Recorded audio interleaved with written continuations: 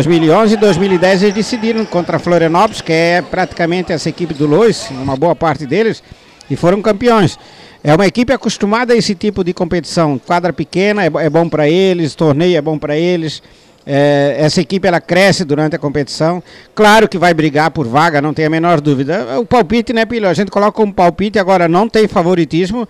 É, nas, nas duas chaves, inclusive, Pilho, se você analisar no todo, não tem favoritos assim direto. Nivelamento acentuado. É, nivelamento. Até agora, na outra chave, exatamente. É, agora você é mais embaixo, é, mas é nivelado. É, você analisando em si todo o plantel, analisando os jogos que realizaram, por isso a gente dá algum palpite, entende? Mas é palpite porque é, essa outra fase aí, as, as, duas chaves são super equilibradas. Uma mais forte, que é a chave C, para mim é mais forte, é, do que a outra chave onde tem São Paulo, Palmeiras, o, o, o, Mahala e, o, Gráfica. e a Gráfica 3 de maio, mas entre eles existe um equilíbrio muito grande. Quem largar na frente vai ter uma grande chance, porque são três jogos só.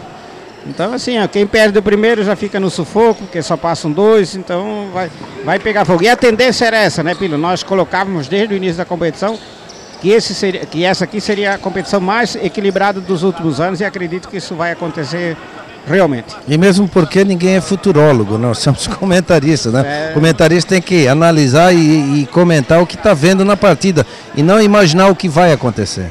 Com certeza. E o jogo vai andando, faltando 9h50 para o encerramento do primeiro tempo. O placar permanece 1 a 0 para a equipe do Cartolas, gol marcado pelo João. Eu perguntei para o Ricardo Guitz, que é um dos coordenadores, um dos patrocinadores também, da equipe do Cartolas de Krieger, se havia, havia sido feita, feito o acordo de deixar o cronômetro correr. Ele disse, não, não, não, nós queremos jogar, nós queremos jogar. Mas o cronômetro está correndo. Olha o João, uma bola que caiu na área, tentativa da equipe da Central com o Felipe, mas o goleirão estava atento ali. Roberto? Oi. Tem um amigo teu aqui embaixo que mandou lembrar você, ou mandou, pediu para lembrar você, para você se motivar, porque está aparecendo aí um clássico Inter e Grêmio, aí parece um Grenal, vermelho contra o azul tal, aí você se motiva um pouquinho. Aliás, eu estou desmotivado pelo resultado das equipes reais no final de semana, né? O Grêmio tomou 2 a 0 com a equipe principal, estreia do Kleber, etc., em pleno Estádio Olímpico para o Lajeadense. E o Internacional que vencia por 2 a 0 ontem também decepcionou lá no estádio dos Eucaliptos em Santa Cruz, tomou 3 a 2 do Avenida. Quer dizer, eu não me motivei lá com as equipes principais, vou me motivar aqui por causa das cores? Não, acho que não, né? Quem está te mandando um abraço é o Nilson Scheinman. Faltando 7 e 19 para o encerramento do primeiro tempo, placar de 1 a 0. Alguma manifestação assim de expectativa por parte da fundação com relação a nova fase que vem aí, o que é que eles estão alinhavando para essa nova fase da competição? Ah, temos uma situação complicada ali na área, a arbitragem também está no nível do jogo, né? Vamos saber então. Absolutamente nada. É, ali teve um detalhe que atrapalhou ali muito os jogadores, foi a bola. A bola, coitada, sofreu ali no meio deles. A bola atrapalhou nesse. Sem bola, quem sabe teria sido uma jogada melhor ali nesse, Vidal. nesse local. Fala, Pino que é Ademir Packer, presidente da Fundação Municipal de Esportes de Indaial. É claro que a expectativa a partir de agora toda gira em torno da largada da segunda fase. Amanhã, se tivéssemos dois Sérgio Luiz Peters, fatalmente seria pequeno também, né, o Ademir? Boa noite. Boa noite, Pilo. Boa noite aos internautas, o Jornal Médio Vale. Com certeza, a pressão já está grande em cima do, dos ingressos. É, gente perguntando se arruma ingresso, arruma ingresso. É, como você falou, se tivesse dois Sérgio Luiz Peters para amanhã, é, ia ser pequeno ainda. De certeza ia ser pequeno. Então, mas, uh, vamos aguardar agora a expectativa para a segunda fase. Acho que teremos aí grandes jogos, né? O grandes espetáculo aqui no Sérgio Luiz Peters a partir da manhã na segunda fase, assim como a gente teve na, na primeira, né? Então agora para a segunda fase é um novo campeonato, é, os bastidores das equipes, os treinadores, todo mundo já conversando, já, se- já se conhece as equipes, né? Então você pode estar certo que o, a- os técnicos, a, a parte tática já vai ser modificada, um já conhecendo o outro, então você pode estar certo que aí teremos eh, grandes jogos aí na segunda fase. Inclusive com a formação do Grupo da Morte. Exatamente, o grupo da morte é forte aí agora, então, mas tendo em vista também o outro grupo também, eu sei que vai ser O forte. nivelamento está tá muito acentuado. né? Exatamente, o que ficou aí está um nível está por cima, está equilibrado por cima e eu acho que vai ser uns tivemos grandes jogos, não, não dá para dizer ah esse ou aquele vai chegar na semifinal ou nas finais. Então, é, dentro do torneio, quem tiver maior equilíbrio emocional entrando em quadra, tiver a maior parte eh, na, na tática do- do- da técnica do- das equipes, eu acho que vai sair vencendo. Não adianta o- a equipe entrar em quadra eh, querendo ganhar o jogo na marra. Então, eu acho que quem tiver a cabeça no lugar, tiver o jogo de inteligência, eh, vai passar de fase. Então, acho que aí os treinadores, mas todos eles se estudaram, um e o outro, a equipe, então acredito também que vai ter um grandes jogos aí. E os ingressos a partir de amanhã, que horas? A partir das 18 horas estará à venda aqui no Sérgio Luiz Peters e os outros que já foram distribuídos né, para as equipes, que a gente tem aquela, aquela cota para cada equipe. Então amanhã Quantos são os cada equipe, grandes. Quantos para cada equipe? Eles estão com 150 ingressos cada equipe. A pergunta do Vidal. Então quer dizer com certeza, a partir de amanhã, novamente, aquele clima quente, né? Literalmente. Exatamente. A partir da. Não, quero retificado. Segunda fase é 200 ingressos para cada equipe.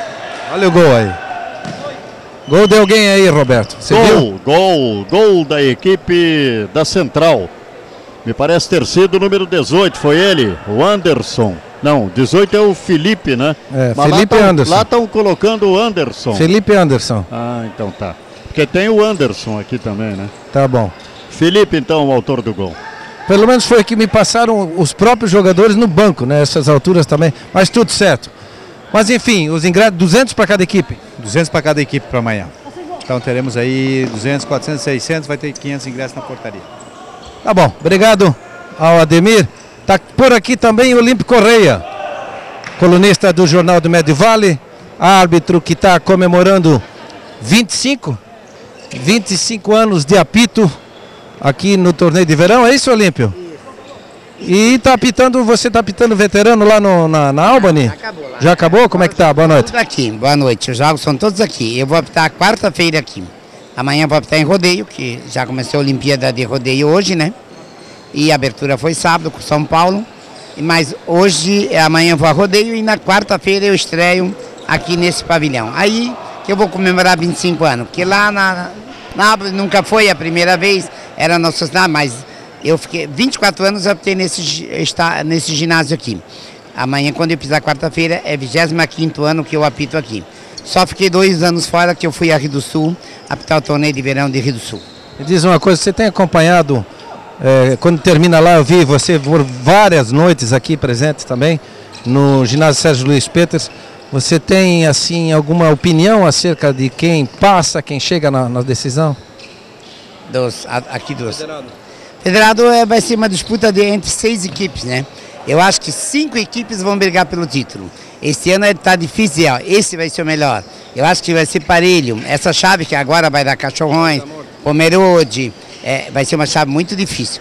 Tudo pode acontecer, porque agora começa tudo do zero. Aquela primeira etapa é a primeira etapa, os times vão se acertando, vão se ajeitando.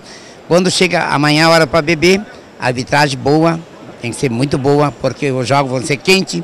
O ginásio vai ser pequeno. Amanhã, então, vai ser muito pequeno, né? Pelas grandes torcidas que esses quatro equipes têm, o ginásio podia ter o dobro que ainda ia lotar. Mas só cabe tanto 1.100, 1.200. Quem chegar primeiro, e ainda os times já têm direito, parece, a 200 ingressos, dá 800 ingressos já estão garantidos para os times. Ó, tá, só 300 pra galera, aí fica difícil. O negócio é acompanhar pela JMV TV. Pilo. Claro, o certo, porque não vai caber. Vai- não vai caber. Ou lá atrás, nos fundos, conta também. Vai ter o telão, né? É, também é a JMV que, que transmite lá. Lá já tem o barzinho, o pessoal vai se aglomerando lá, para ficar no clima da festa. Mas sem dúvida, esse ano é o ano mais difícil, é o ano mais parelho, os times são mais iguais. E é questão de sorte, a quadra é pequena, tudo vai é, influir naquele que melhor se postar. É melhor defender para depois atacar, né? Porque o cara que só atacar e não cuidar da defesa, os times são muito parelhos. E eu- até no veterano, veterano é fortíssimo. Olha, tem um time que tem três, quatro da seleção brasileira aí. tem Xoxo, tem Jonas, tem Índio. É, é, é timaço, o veterano também é forte. Quer dizer que fizeram alguns times fortes. Então, até no feminino, feminino pode ver, um time com uma, uma da seleção brasileira hoje aí caiu fora. Era aquela atleta que perdeu a bola no, no gol de empate. Ela é. Eles caíram fora com aquele gol? Aquele gol caído fora. Não acredito. Terceira classificação. E, a, e quem perdeu a bola foi a da, da seleção brasileira. Joga muito, né? Joga muito e a seleção brasileira. Para tu ver como influi uma jogada. E esse gol tirou eles fora. Classificou, parece, um, não sei se é os cachorrões, e esse time que, que empatou, o time do Laguna de Blumenau.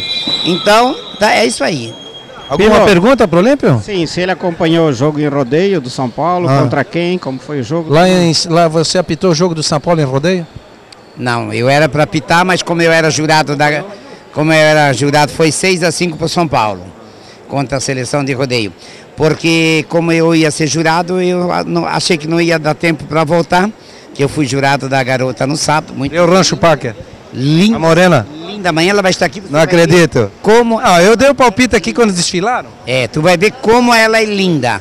Ela perdeu Jamil Zindayal na última por um ponto. Ela é linda demais. Tudo de bunda, de rabo, de corpo, de dente. Um rosto lindíssimo. Tu vai ver amanhã como a menina é linda, né? Eu estive lá com cinco meninas e mais eu no júri para eleger. E ela, com, com certeza, quando ela pisou na passarela, era a mais linda. Ela é muito linda. Vocês vão conferir amanhã à noite, ela vai estar aqui para ver como é linda. Já entrevistamos ela aqui. É? Oh, Hoje? Não, na sexta-feira. No sábado. Ah, já no sábado. Mas hoje ela, amanhã ela vai estar aqui como já garota. Não sei se ela vai ser capa do Médio Vale de amanhã. Não, não. É, foi. Vai, vai, vai na sexta-feira. Ah, eu, bati, eu mandei bater foto para o jornal. O fotógrafo da prefeitura que estava lá, que bate, eu mandei bater fotografias para a capa do jornal, porque realmente ela é muito linda. Tá bom, Olímpio, obrigado, parabéns pelos, seus, pelos 25 anos de apito aqui em Dayal. Então tá bom. Obrigado a vocês e o bom trabalho que vocês estão fazendo, que a repercussão é nacional. Tá certo, Olímpio Correia.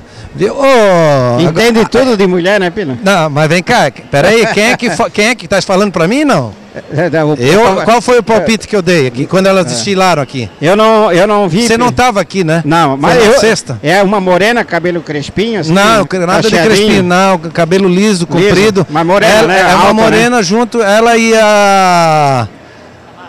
A Tamara Sim. é, eram as candidatas, assim, de certa maneira, favoritas para chegar. Não sei que lugar ficou a Tamara, só recebemos a informação agora que a menina do Rancho Packer ganhou o título. Aliás, o Rancho Packer é bicampeão, né? Se, É, nesse Ela, ela, ela desfilou na. Quando eu estive aqui, acho que foi quinta-feira ou quarta, com uma camisa número 13. Eu acho que é essa menina. nós, né? nós já entrevistamos ela aqui, Ah, inclusive. eu sei quem é, sim. Muito bonito. Nós entrevistamos ela e não deu zebra, né?